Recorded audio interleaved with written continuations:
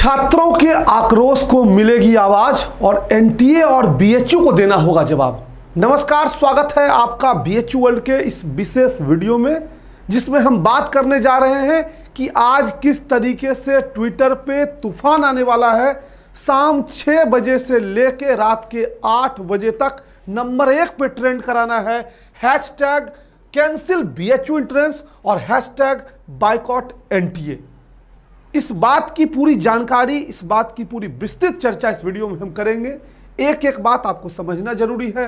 कई नए ऐसे हमारे बीच बच्चे होंगे जो इस बात से परिचित नहीं होंगे, कई ऐसे गार्जियन होंगे जो इस बात से परिचित नहीं होंगे, कई ऐसे प्रशासनिक अधिकारी होंगे जो इस बात से परिचित नहीं होंगे कि आखिर क्यों इन दोनों हैशटैग को ट्रेंड करवाया जा रहा है। तो इस वीडियो में मैं एक एक बातें समझाऊँगा, विशेषकर बच्चों को ये वीडियो पूरा देखना है और जिस तरीके से आपको आज कैंपेन करने बताया जाएगा, उस तरीके से अगर कैंपेन करते हैं तो निश्चित ही कुछ सकारात्मक परिणाम आने की उम्मीद है। सबसे पहला चीज़ उन लोगों के लिए जो नए हैं और पता नहीं है कि मामला क्या है।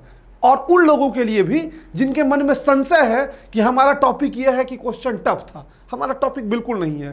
क्वेश्चन टफ होना कोई टॉपिक ही नहीं है। हमारे लीगल ग्राउंड्स क्या हैं वो हम आपको समझाएँगे। लेकिन उसके पहले देखिए, पूरा मामला शॉर्ट में है क्या? वर्ष 2021 के लिए पहली बार एनटीए के द्वारा जो है बीएचयू प्रवेश परीक्षा का असफल आयोजन लगातार जारी है। जिस दिन से परीक्षा की शुरुआत हुई, बच्चों की लगातार शिकायतें आ रही हैं कि परीक्षा की दुर्व्यवस्था है, न तो परीक्षा लेने में जो है कहीं पे कोई सुविधा उपलब्ध है और ना ही प्रश्न पत्र जो है उसमें किसी भी प्रकार के पूर्व के प्रश्न पत्रों से प्रासंगिकता है। तो ये मुख्य रूप से मामला है और इसी मामले को लेके बीएचयू और एनटीए को छात्रों को भी जवाब देना होगा। पक्ष क्या है? हमारे कानूनी पक्ष क्या है? क्यों हम यह मांग कर रहे हैं कि परीक्षा को रद्द कराकर पुनः परीक्षा का जो है आयोजन होना चाहिए?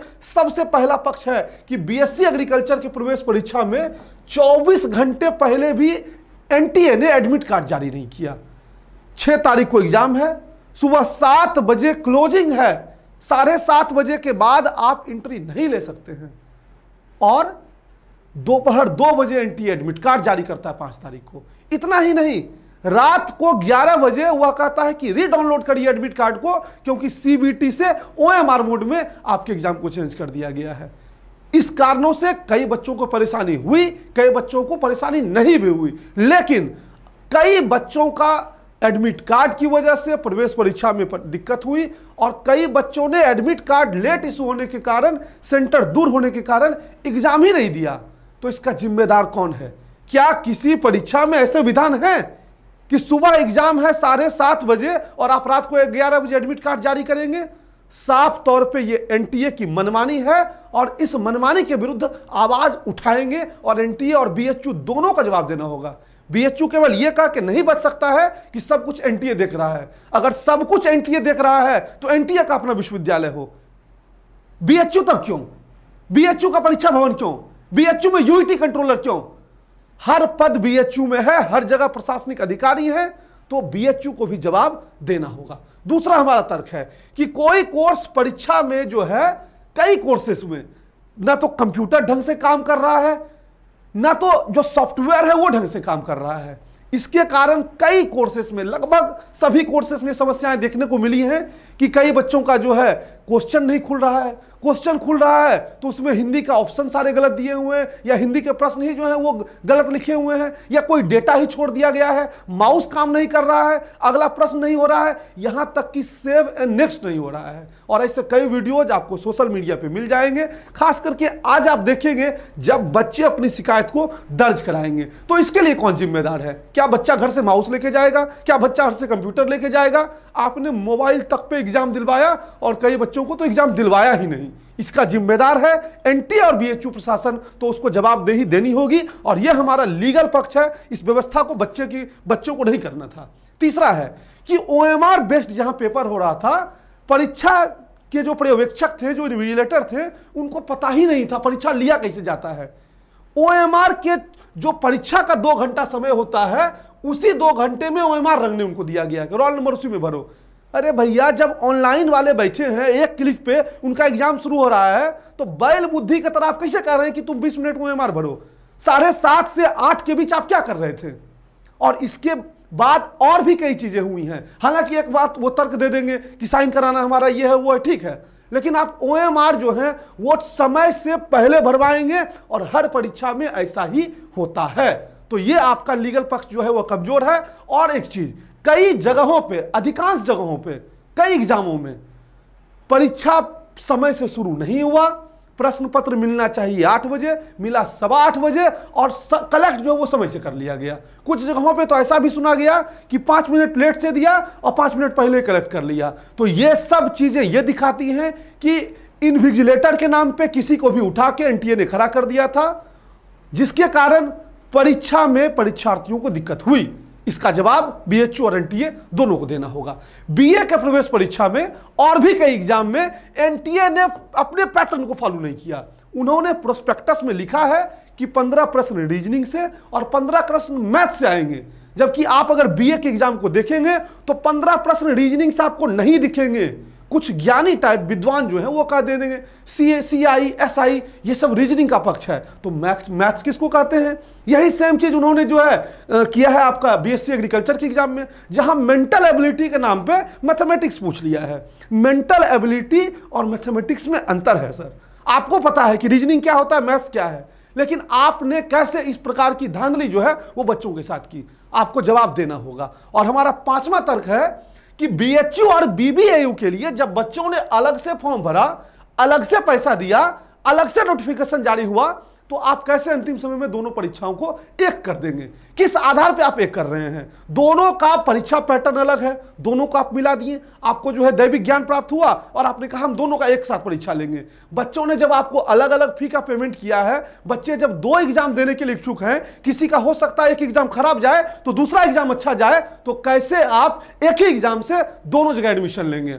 आपने नियमों के को ताक पे रख पे सब कुछ अपने मन से किया मनमानी किया है इसलिए आपको जवाब देना होगा। और अंत में हमारा यह आता है नैतिक मुद्दा जो बच्चों के मन में है।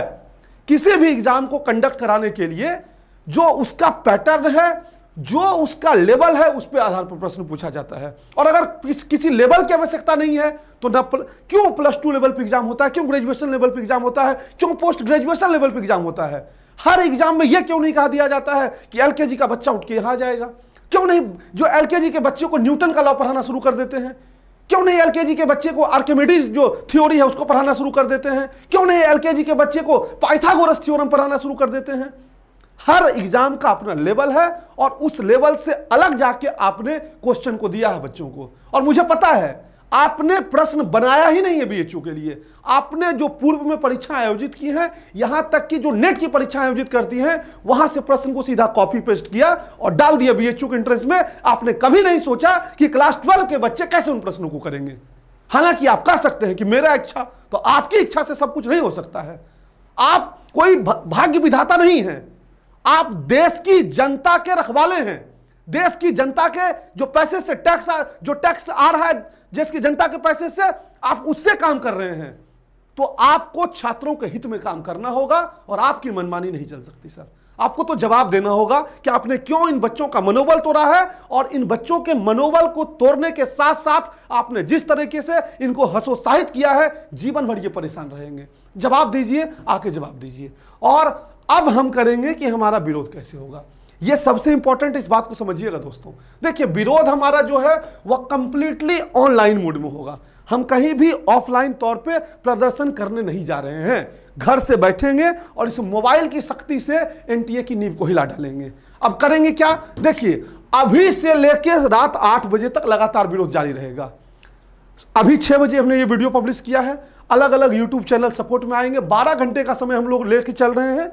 छह बजे से आठ बजे शाम तक जो है लगातार विरोध होगा, लेकिन शाम छह बजे से लेके रात आठ बजे के बीच आज जो है दिन भर अलग अलग सोशल मीडिया प्लेटफॉर्म पे हम मैसेज शेयर करेंगे दिन भर अलग अलग सोशल मीडिया प्लेटफॉर्म पे फ़ोटो शेयर करेंगे वीडियो शेयर करेंगे, मैं सब बात में बताऊँगा। लेकिन शाम छह से रात आठ का जो दो घंटे का समय है, उस समय केवल ट्विटर पे आ जाएँगे। सारी शक्ति को ट्विटर पे झोंक देंगे और कम से कम दो से ढाई लाख ट्वीट करके एक नंबर पे ट्रेंड करेंगे ताकि पता चले एनटीए को कि छात्रों की शक्ति क्या होती है, छात्रों का आक्रोश क्या है और उन्होंने क्या किया है। सिर्फ़ एनटीए को नहीं, बल्कि देश की पूरी जनता को पता चलना चाहिए कि किस प्रकार परीक्षा के नाम पे एनटीए ने धांधली किया है।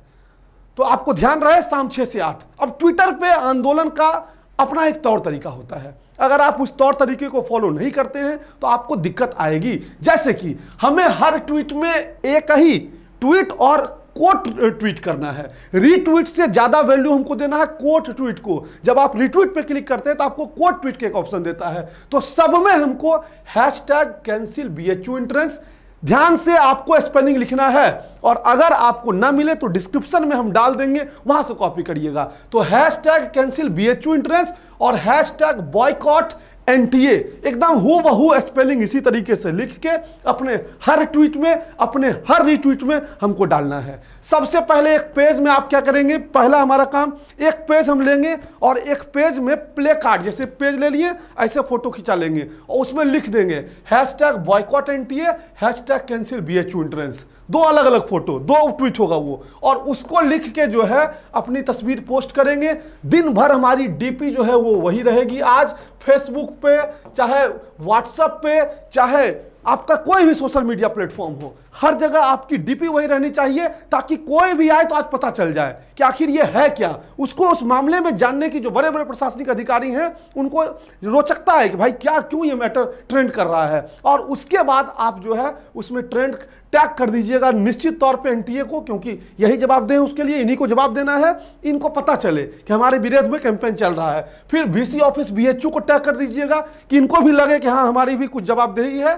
टैग करना है पीएमओ इंडिया को, इनको टैग करने से इनके ऊपर अलग प्रेशर बन जाएगा कि पीएमओ तक बात जाएगी। और फिर आप at the rate world BHU को टैग कर दीजिएगा। इससे ये होगा कि हम भी एक ट्वीट का आंकलन लेके चल पाएँगे कि कितने ट्वीट्स वगैरह हो रहे हैं, जिससे आंदोलन पे जो है नज़र बनाई रखी जा सके। और आप इसके अतिरिक्त न्यूज़ चैनल को, लीडर्स को, जो सेलिब्रिटीज़ हैं, जिसको आप फॉलो करते हैं, उनको एक दो को टैग ज़रूर कर दीजिएगा। आप चाहें तो मुझे भी at the rate Suraj B H U world tag कर सकते हैं, ताकि मैं भी आप लोगों के ट्वीट को रिट्वीट को, सबको देख सकूँ। इसके बाद, दूसरी बात, इस तरीके से ये हमारा जो है, वो कई लोग कहेंगे कि सर, ये क्या होता है पेज लिख के? तो इसी तरीके से आप लिखेंगे, उसको सजाइए, धजाइएगा मत, उतना समय नहीं देना है।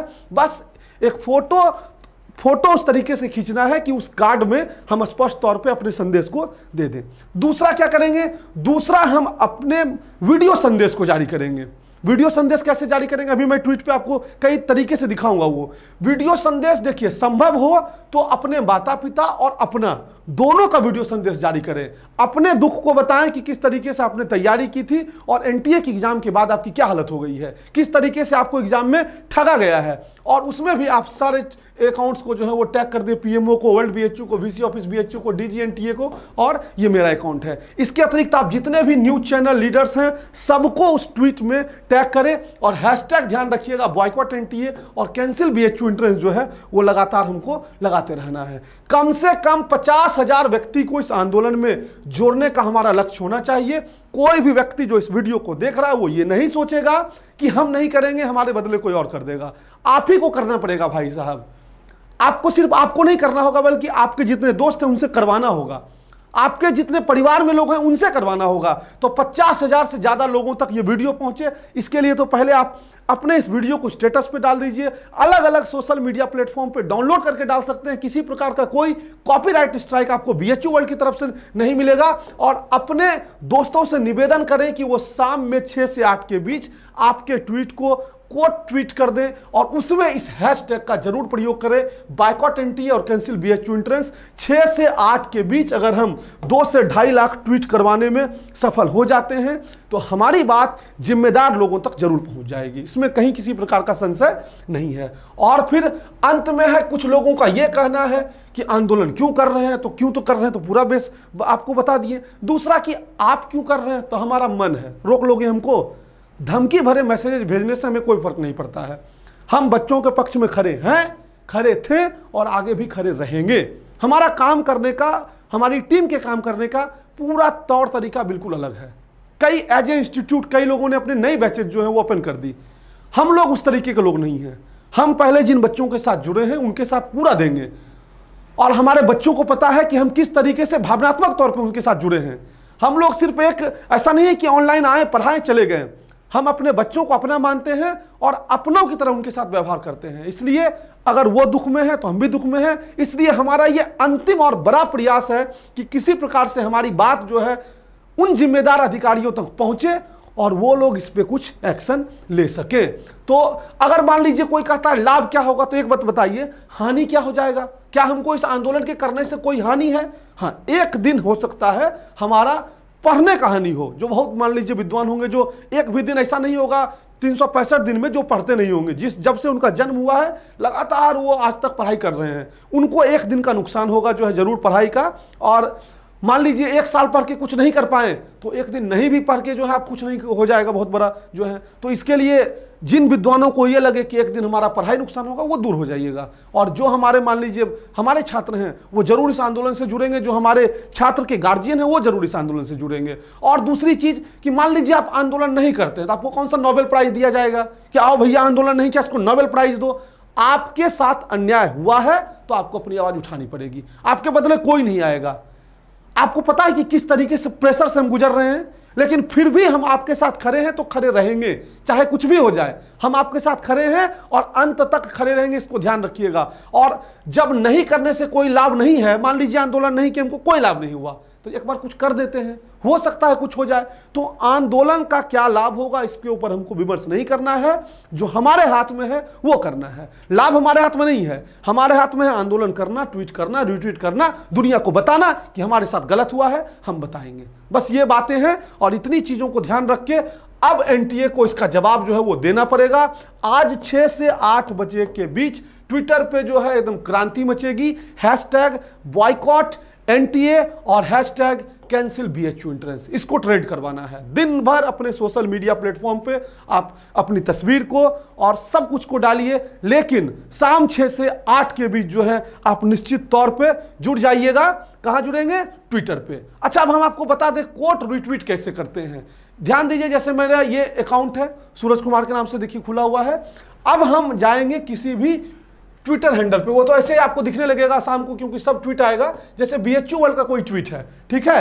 सारे दोस्तों के ट्वीट को, सारे जो आपके मित्र हैं, जो उस हैशटैग से ट्वीट करेंगे, जैसे क्लिक करेंगे, बहुत सारे ट्वीट आपको दिखेंगे। तो आपको उस हैशटैग पे क्लिक करके कोट ट्वीट करना है। जैसे मान लीजिए ये कोई एक आया है, इसमें देखिए एक ऑप्शन है कोट ट्वीट का। इस पर क्लिक करेंगे तो देखिए कमेंट ऐड करने दे दिया। इस कमेंट में जो है, हम हैशटैग वो वाला ऐड कर देंगे, लिख देंगे।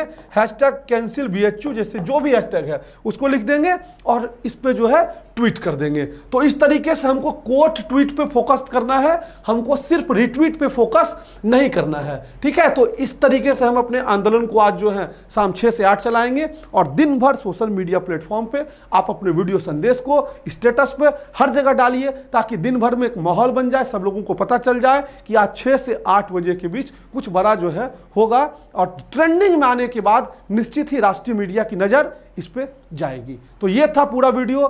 हमने अपनी ओर से पूरा प्रयास किया है आपके सपोर्ट करने का। और हम इस प्रकार की किसी भी चीज़ के आपसे कोई अपेक्षा नहीं रखते हैं कि आप हमको आके धन्यवाद बोलें, आपको वीडियो कैसा लगा, पसंद करें, लाइक करें, कुछ मत करिए। क्योंकि हमको पता आप दुख में बाबू। आप दुख में है, तकलीफ़ में है, आपके साथ जो हुआ है, किसी के साथ भी होगा तो वह टूट जाएगा। क्योंकि आप टूटे हुए हैं तो हम भी टूटे हुए हैं। क्योंकि हम और आप बहुत भावनात्मक तौर पर एक दूसरे से जुड़े हैं। आपको कभी फील नहीं हुआ होगा कि हम ऑनलाइन जुड़े हैं। कुछ लोगों का कहना है कि आपने पढ़ाया ऐसा। अरे हमने क्या पढ़ाया वो आपको नहीं पता है। हमने तो पूरा कोर्स ही फ्री कर दिया। उससे क्या होता है?